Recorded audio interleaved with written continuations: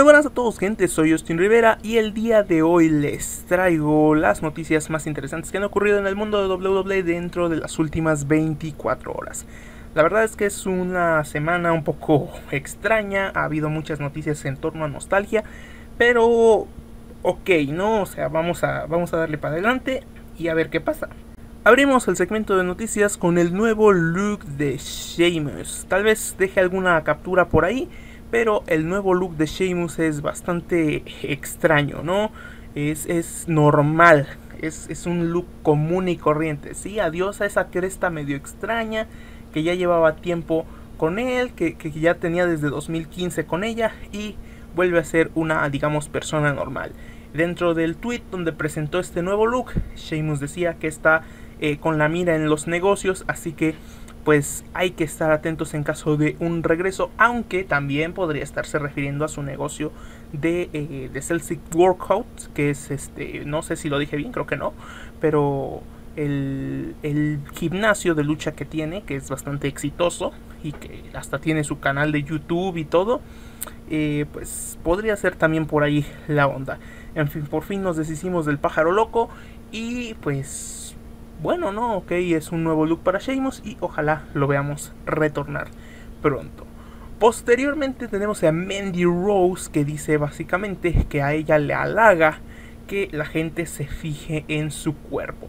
Y es que la mayoría de las luchadoras de hoy día, estilo Charlotte, Becky Lynch, por ahí Sasha Banks, habían mencionado en algún pasado cercano, por así decirlo, un año más o menos, eh, pues era gratificante que la gente sintiera aprecio por su trabajo como luchadora, sino simplemente por su cuerpo como mujeres, mientras que Mandy se va completamente del otro lado, si quieren dentro del kayfabe, a decir que está completamente halagada con que a los fans les encante su cuerpo y que eso la hace sentir muy bien, o sea, como que le levante la autoestima.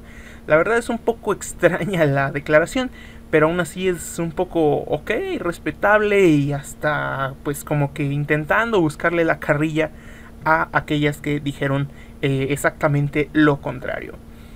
Para proseguir tenemos directamente que WWE Network estará haciendo grandes cambios durante esta semana.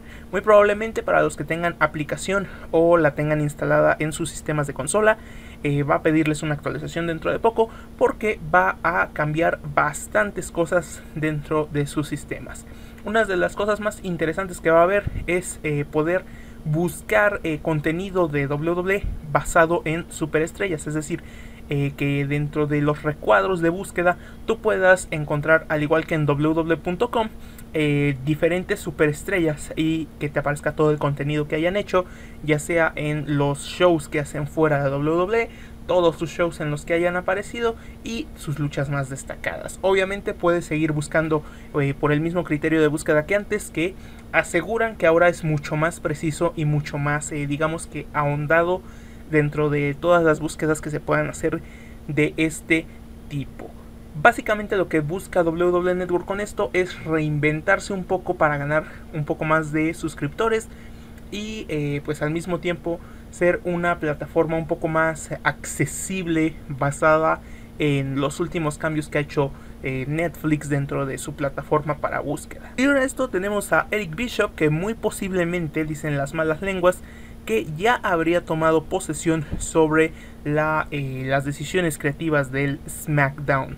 Eh, como recordamos, hace algún tiempo se confirmó que tanto Eric Bishop como Paul Heyman estarían formando ya parte de los accionistas mayoritarios de la empresa y esto les daría como una especie de carta libre para ser los nuevos directores creativos de eh, las marcas de Raw y de SmackDown respectivamente. Esto pues obviamente eh, elevó el hype de algunos, otros dijeron que iban a mandar más a la goma las marcas y parece ser que eh, por lo menos el último SmackDown podría ya haber estado dentro de las intenciones de Eric Bishop para el futuro de la marca.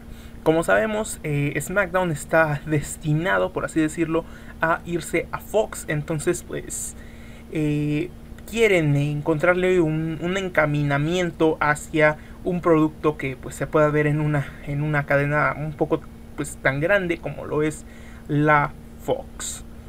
Posterior a esto tenemos precisamente a la Fox, pero a la Foxy, a Alicia Fox, quien aparentemente habría pasado a formar parte de eh, los luchadores retirados.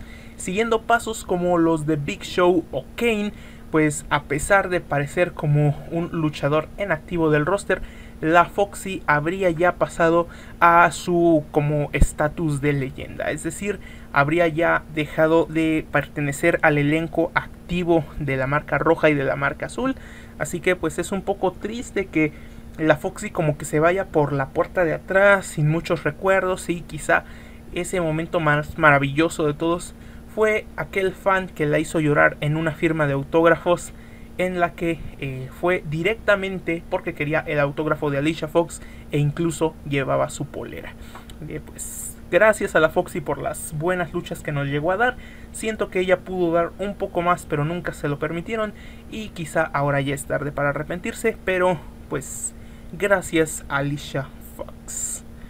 Y uno de los chismes más grandes que se están barajando, aunque no deja de ser radio pasillo, y como dicen, tómenlo como un grano de arroz, o sea, no den así como que no, es que tal me dijo y yo lo oí también en otro canal y lo leí después en una zona de, de, de estas páginas de información. No, a pesar de que lo hayan leído ya de varias fuentes y lo hayan oído aquí también, sigan tomándolo como rumor. Y es que Charlotte Flair podría haber eh, pues conseguido con, eh, pues un enfrentamiento en SummerSlam contra la Trish. Es un rumor que ya lleva cobrando vida durante los últimos 2-3 días y la verdad es que a muchos les emociona, otros dicen que pues no va a ser la gran cosa, pero a final de cuentas pues es una lucha contra una leyenda y siendo de mujeres pues es un poco más especial por así decirlo. La verdad es que esto de Charlotte contra Trish no me hypea mucho, pero pues no lo voy a despreciar, ¿no? Es como verlo más por morbo que por gusto, pero a final de cuentas eh, lo ves que es lo que la empresa quiere.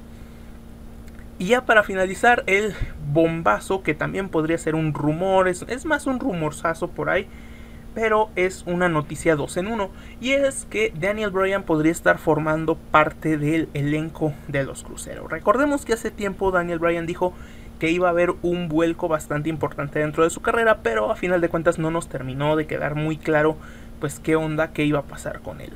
A final de cuentas, o sea, ya dejando todo esto de largo, eh, parece ser que eh, esta compra, bueno, esta adquisición de SmackDown dentro de la Fox terminaría por cancelar, por así decirlo, 205 Live, es decir, tal cual una cadena pequeña que es absorbido por una grande, 205 Live pasaría a ser parte de SmackDown, como digamos, como al principio le quisieron hacer que la división crucero era exclusiva de Raw, pero de alguna forma pasaría a ser exclusiva para SmackDown.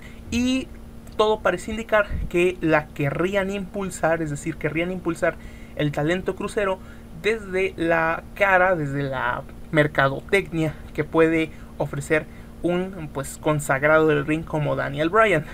Hay quien cree que simplemente Daniel Bryan se va a pasar a 205 Live, pero lo más probable es que esto no se llegue a dar de dicha forma, es decir, no va a ir Bryan a presentarse a 205 Live a ganarle a Mike Canellis y a Red Ibarri, sino que directamente todo el elenco de 205 Live y la marca como tal terminaría por desaparecer de alguna manera y eh, fusionarse dentro de SmackDown como una especie de segmento o de abreviario por, por aparte de la marca. Entonces, pues podría ser por ahí y Daniel Bryan podría ser la cara de esta nueva división crucero.